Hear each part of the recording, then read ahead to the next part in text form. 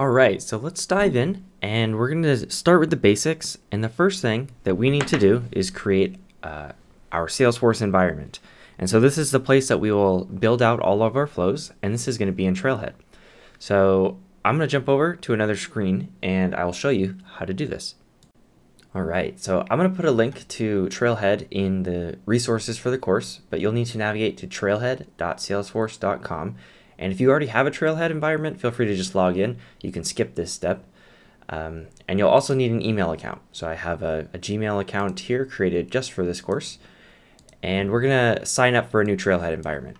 And again, if you already have Trailhead, feel free to skip, skip the course. We can sign up in a few different ways. And so I'm going to pick the email route. Actually, I'll pick the Google route and we'll see how fast it goes. It might be faster. Um, you can also sign up just using your regular email.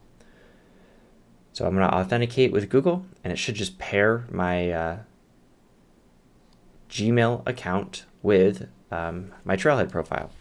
And so I'm, let's do Nick, put in my name, and uh, press next. And I don't think you really have to put in real information for this. I'll just uh, put in some of the info that we're going to use in the in the course.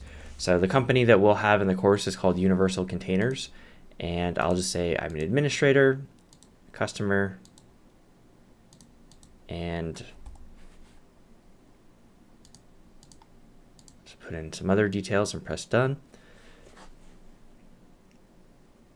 And you'll see it's kind of changing the URLs up here. It's doing some different things. And uh, once you land on a screen like this, it looks like we should be all set up.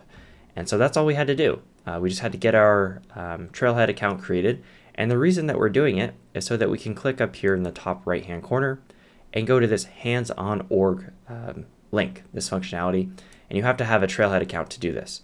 And it looks like there was one already created for me, but we're going to create a new playground.